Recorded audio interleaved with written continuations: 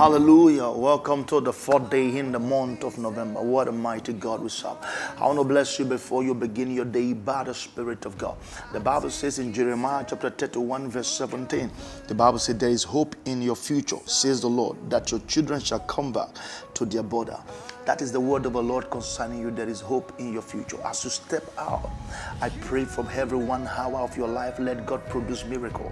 In the name of Jesus Christ, every step you take, your activities today shall produce a miracle. In the name of Jesus Christ, the God that has promised hope for you will begin to bring the manifestation. Your heart will no longer be sick for miracle anymore. The God of heaven shall produce that miracle. Whatever desperate place you are in, I pray for an urgent supernatural release of God's power and God's blessings in the name of the living God. I pray that every miracle you're expecting shall manifest today. Receive that answer in Jesus' name.